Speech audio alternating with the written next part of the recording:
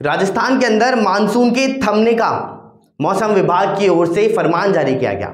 लेकिन इसी बीच आप सभी को बता दें कि जयपुर सहित कुछ एक जिलों के अंदर अभी भी बारिश हो रही है। अलर्ट जारी किए गए ऑरेंज और येलो दोनों। आज की बात करें तो आज गुरुवार को जयपुर के अंदर सुबह से रिमझिम बारिश का दौर जारी है। कुछ एक इलाकों के अंदर तेज बारिश हो रही है।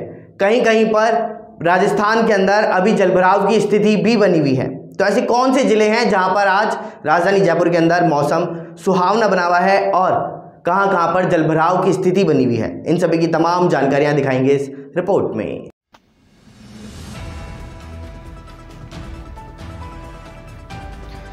राजस्थान में मौसम केंद्र ने तेज बारिश का दौर आज से थमने की घोषणा की, लेकिन जयपुर सहित पाँच जिलों में रुक रुक करके बारिश हो रही है।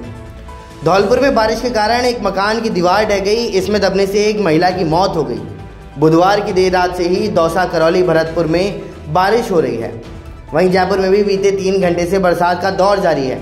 भरतपुर के नदबई में खांगरी फाटक के पास, अंडरपास में पानी भर जाने से एक ट्रैक्टर, ट्रॉली, कार और जीसीबी डूब गई। कार ड्राइवर को लोगों ने सुरक्षित बाहर निकाल लिया, जबकि ट्रैक्टर सवार लोग खुद ही बाहर आ गए। मौसम विभाग ने आज ही प्रदेश के नौ जिलों में अलर्ट जारी किया। पूर्वी राजस्थान के जयपुर, भरतपुर, अजमेर के अलावा उत्तरी राजस्थान के बीकानेर संभाग में आने वाले दिनों में मानसून एक्टिव रहेगा। वहीं पश्चिमी राजस्थान के जोधपुर संभाग में अगले दो दिन मानसून कमज़ोर रहेगा।